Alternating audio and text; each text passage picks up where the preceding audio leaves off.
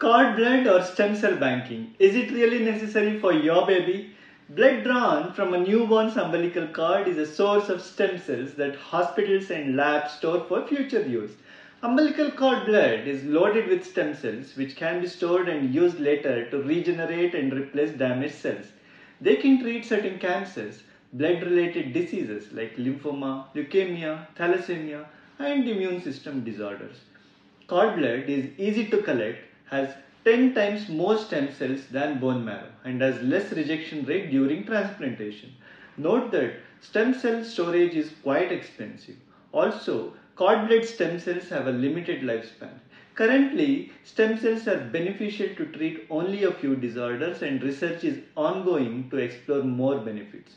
One should consider stem cell banking when you can afford it when you have a family history of genetic diseases and disorders, which I have mentioned earlier.